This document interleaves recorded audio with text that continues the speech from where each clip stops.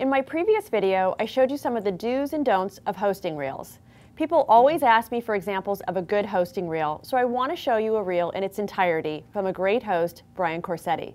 I also talked to the owners of Open Door Productions in Los Angeles who make the majority of hosting reels out there, and we get a bit of advice from them.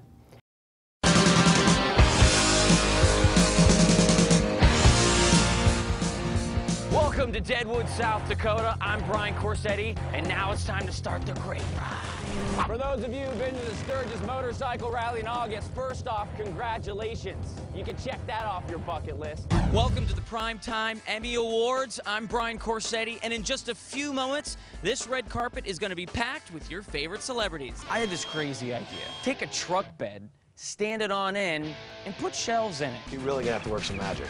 We're gonna blow the doors off this place. So much bigger, badder, and better that we can't even put it in words. I dig that. Victoria's Secret TV. I'm in the sh- actually shopping for something for my girlfriend. Is this something that I could get her?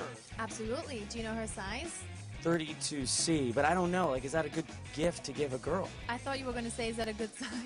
Every second counts. There seems to be a new problem. Time is ticking away, and the All-Star team is scrambling to get this car done. Do the DB thing and put your fists in the air because Jersey Shore has gotten picked up for a second season. And every original cast member is on board to return to MTV for more drama, more hookups, and more situations. Welcome, everybody, to School Bus Madness, your ultimate source for new and emerging sports across the country and beyond. All this action is fueled by Mountain Dew. I'm Brian Corsetti. I'm at MuniFest. I'm about to pass out. Will you catch me if I pass out? I will be there to catch you, I promise. It's like you steal my game sometimes, not gonna lie. Carrie Ann, people say that I look like a cross between Bradley Cooper and Tobey Maguire, but I'm not going around telling everybody that I'm related to him unless I know. Indeed. Walton, Vujacic, Terriaf, Farmar, they're all the X Factor heading into game number three. Two games in the book. At this point, who's your finals MVP? Okay, so my final, it has to be Paul Pierce. You can make me laugh. That's a good thing. I wish we had more time. I don't want this party to stop. From the hot, steamy grotto at the Playboy Mansion, From the red carpet in Hollywood, I'm Brian Corsetti, doing something different on the Do Report. You're awesome, man. You're, you're good at it.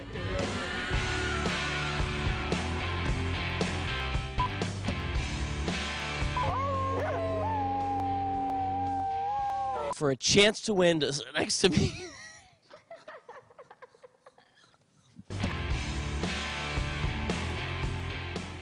I really like Brian's reel. It flows well, his opening montage is not too long, he incorporates stand-ups with interviews, and most importantly, he shows me that he can get down and dirty, but he also can work a red carpet. You know, demo reels are important. You need to have a solid demo reel. If you don't have one, make one up and make it look professional. It's all about the production quality. Two minutes, guys. You know, obviously, if you've been working, maybe three, nothing over that. You don't want to inundate the casting director or agents or managers with material. They're going to see the first 30 seconds anyway. When you're just starting out, you're going to need to make up some footage so you can get jobs. People often put show names or logos in the corner like you see on TV, but you don't want to add too many of these logos or bugs because it can be distracting and take away from you.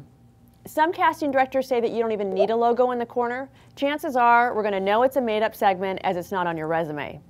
Try to create a logo or a bug that fits a show idea you had or the name that you're, you're using on screen. Try to come up with a unique concept with your logos. Because the truth is, if you put Fox, if you have a meeting with Fox, they're going to ask you, hey, when did you work with us? And you're going to feel like a fool.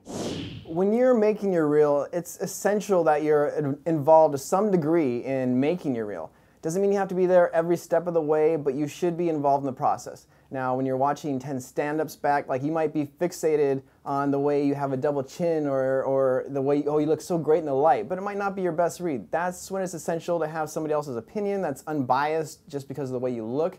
Uh, that's where the partnership forms.